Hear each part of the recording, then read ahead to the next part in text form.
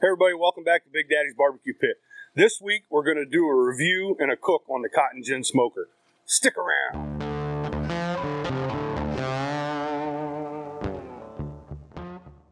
Hey everyone, welcome back. So today we're going to do a review and a cook on our Cotton Gin Smoker. And everyone asks me when I say that, you know, what is a Cotton Gin Smoker? A Cotton Gin Smoker is a barrel cooker. The main engine on this smoker is going to be your charcoal bar- bucket, and then it has a heat shield around the outside. And then over here, you'll see I have a baffle plate, which is tunable, where you can uh, maneuver the baffles up and down to regulate the heat flow when you're in direct cooking. And then also the grill grate. These pipes that you see coming out the sides, this is the intakes for the air. So basically, just like on a on a Kamado style cooker, you're you're adjusting the intakes for the air. And then on the top, you have your exhaust, which you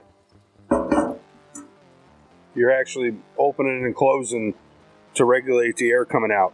Uh, it comes standard with the handle. It comes standard with the the uh, the meat probe port,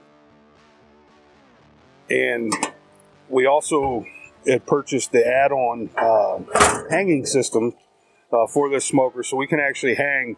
The rack sits down on top of the on these bolts, and then we can actually hang about 12 racks of ribs in it. Some of the features of this of this smoker are the exhaust is on the on the lid. Again, these are the intakes. You know what's basically powering this is that heat shield and the uh, charcoal basket. And the good thing about this is 16 gauge drum, and on the powder coat for the black model, it can withstand up to 1200 degrees. The other colors are, or they, they say about 600 degrees are standard. The grill, it comes with this nice plate. Uh, Matt and his guys up there in, in uh, Michigan do a great job building these smokers. A custom uh, gauge on there that's it's really actually very accurate. We cook on this thing probably at least three times a week, and that's why it looks a little crudted up. I mean, we use it, we use it often. Uh, it's fun to cook on, it's easy to cook on, much like our Kamado. So, I mean, comes with the, the hanger, hanger for the, uh, the lid, and it's very efficient. You'll get 8, 12, 15 hour cooks on this cooker uh, with not really adding any any features like a flame boss or something like that, that that you would typically need for a long cook. Very efficient. You can use either charcoal briquettes or today we're using lump charcoal in it. And we got a couple Royal Oak tumbleweeds in there. And we're just going to do a pretty basic cook on it. We're going to get this thing cleaned up a little bit. We're going to cook direct and we're going to do some uh, teriyaki style chicken on it today for the review. But overall, solid. I mean, the, it's easy to maneuver with the wheels. Good welding. It's it, it's built rock solid. I'd recommend if you enjoy cooking with charcoal, enjoy cooking in your backyard. I recommend this brand of smoker to anybody. The customer service is out of this world. You're dealing directly with the owner, and his team does a great job. So we're going to go ahead and fire this up and light off our tumbleweeds, let it come up to temp. And you can you can use a basket, a charcoal basket to, you know, chimney or whatever. Today I'm just to light some tumbleweeds down in there and we're probably not even going to use any any uh, wood today because we're just going to be cooking hot and fast. So we'll get this fired up. We're going to clean up our grill grate but uh, you need to go and check these out Cotton Gin Smokers.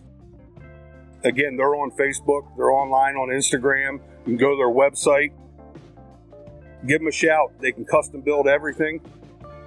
Different colors. There's some beautiful looking smokers Matt's built. Um, tri hanging system, and then you can get your door with your custom logo on the front. Hopefully, that's in the our next uh, step up into the cotton gin world was going to be getting the harvester, which is they're really their top end model. So let's cook some chicken. Stick around.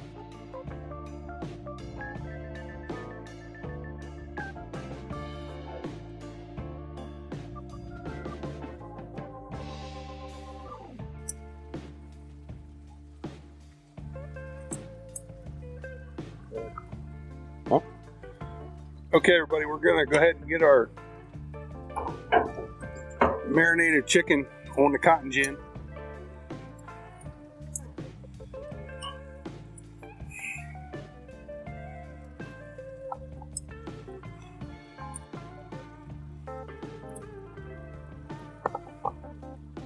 Again, this is just marinating in some Korean barbecue sauce. I'll put where I got it in the description at the bottom of the page so you can look it up for yourself. We're just going to let these cook. We're going to try to cook along about probably 250, 275 on these. They're not going to take long. Boneless, skinless chicken thighs, so be a quick, easy cook.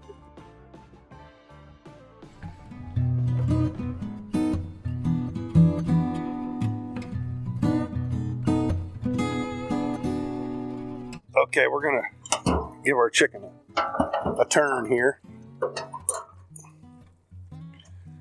Running around about 300, so I just want to keep flipping it. I don't want it to get too dark, so hear that sizzling. Live fire down there.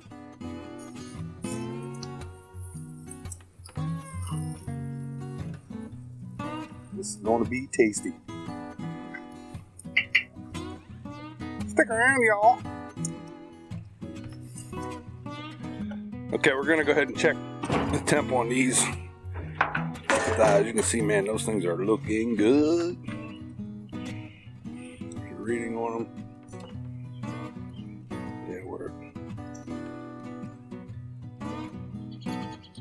Bouncing around between. Yeah, these things are done. We're gonna go ahead and get them off, especially that small one.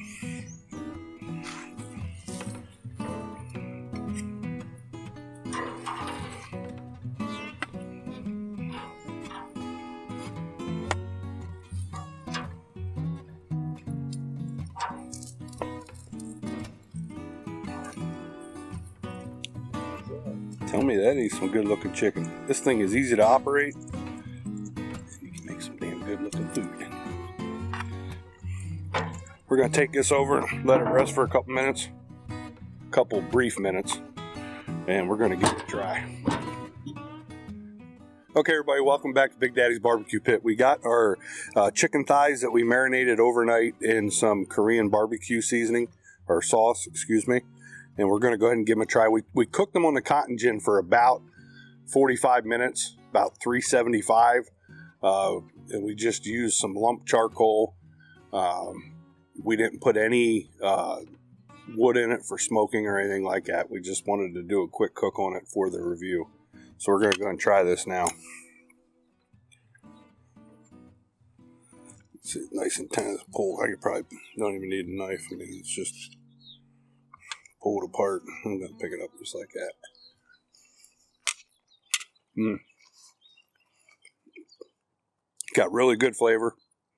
Uh, we love using this recipe on, on, on chicken thighs. Uh, everybody in the family likes it. You get real good uh, charcoal flavor, and if that's what you're looking for uh, when you're doing your cooks, I know a lot of folks like to use a pellet smoker. A lot of people like to use a Kamado style. You need to check out Cotton Gin Smokers. It is it is the closest thing you're going to get to authentic that you can have right in your backyard, uh, and it, it's very portable. You can take it a lot of places. It's easy to use and it's very well built. Go to cottonginsmokers.com and reach out to Matt and his team up there. They'll be glad to help you out and they can customize anything and they're building great smokers. Please keep following us on Facebook. Go to Instagram and go to YouTube, like and subscribe. Get you some.